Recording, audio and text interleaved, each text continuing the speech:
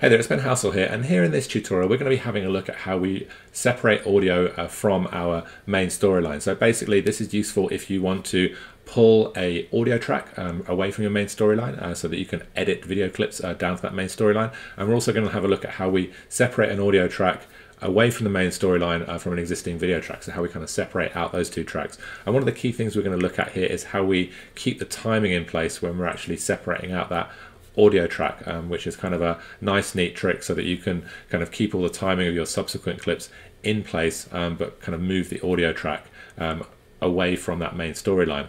So in this video sponsored by FxFactory, we're going to be covering uh, some very kind of quick, cool tips for working with audio, um, and it's definitely worth going to the FxFactory website and checking out some of their plugins for noise removal and stuff like that. They have a lot of awesome plugins there that I use all the time uh, for kind of keeping my sound in check. Um, but without further ado, let's dive in and have a look at how we separate or move audio away from the main storyline.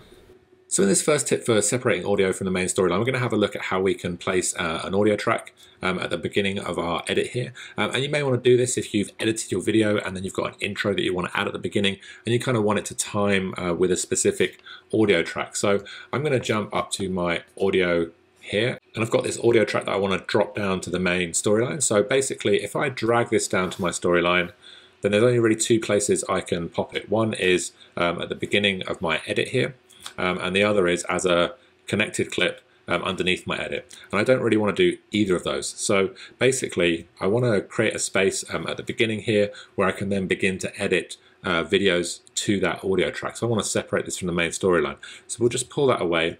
And basically there's two steps to kind of making this happen. So the first is to drag the clip down um, into that first spot um, right at the beginning.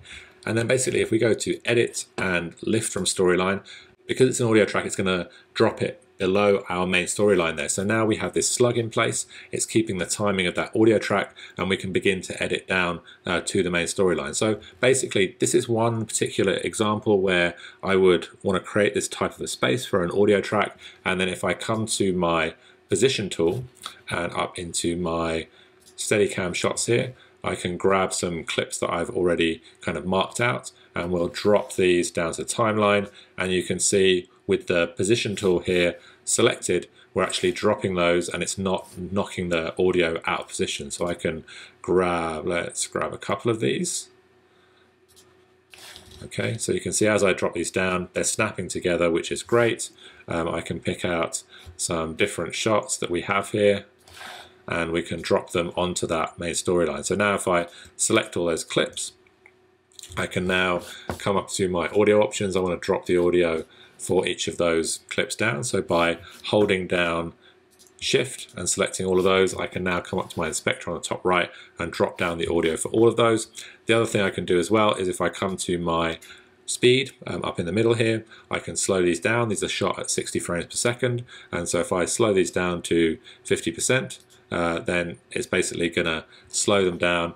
Uh, we are getting that little bit of bumping um, of this track, but once we've got the timing of everything at the beginning perfect here, we can obviously delete this slug once we've kind of filled up this space. So we've just made a big chunk of space at the beginning of our edit where we can drop those clips in, um, and it has basically allowed us to um, edit in that spot.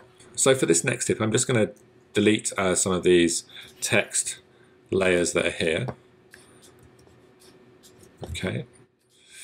And basically, another example of removing your audio from the main storyline is if you wanted to separate out um, some spoken word uh, from the main storyline, but keep the spacing that this clip is kind of giving you uh, in place. So basically, if I select this clip and then go to clip and detach audio, it's going to detach my audio, but at the same time, if I now delete this clip, it's going to delete the audio as well, even though I've detached that audio. So basically, there's a couple of different ways in which we can do this. One is to go to Edit, lift from main storyline, which will again lift this video clip, the separated video clip, um, to a connected clip, and we can then delete it, and it keeps this slug in place, and we can do the same thing there.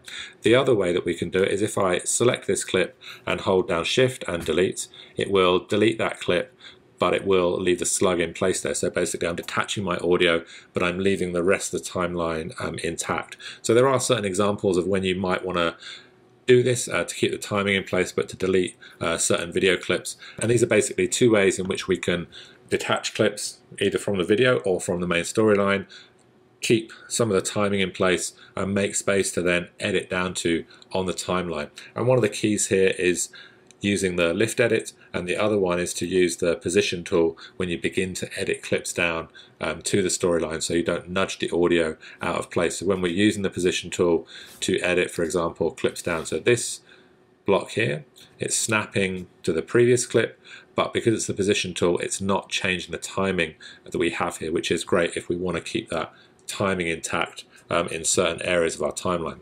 So those are the two uh, tips for today's tutorial. Um, I hope they're useful. They're definitely useful if you want to kind of keep the timing of things in place, particularly if you're working on things like music videos, then deleting clips um, from the main storyline using shift and backspace or shift and delete, depending on what it says on your keyboard, is super useful. Um, it will stop subsequent clips down the timeline being knocked out of place, and then this detaching of the audio from a video clip, but then keeping the timing of everything in place is something that was a question that popped up on the YouTube channel. So if you do have any questions about how to edit in Final Cut Pro 10, then please do drop me a message and I look forward to seeing you on the next tutorial.